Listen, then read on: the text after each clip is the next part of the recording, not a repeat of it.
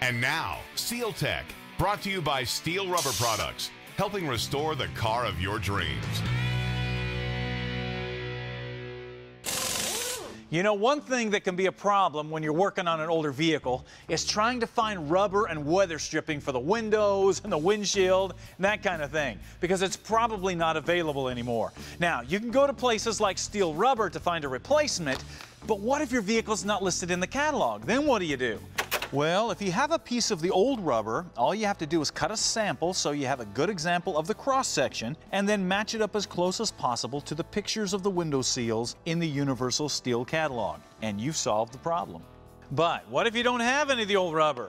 Well, it's a little more involved, but it can be done. The first thing you need to determine is if the glass fits flush with the pinch weld or it sits in front or behind it. Now, on most windshields, it sits in front of the pinch weld, but you might need to grab a couple of friends and put the glass in place just so you know for sure.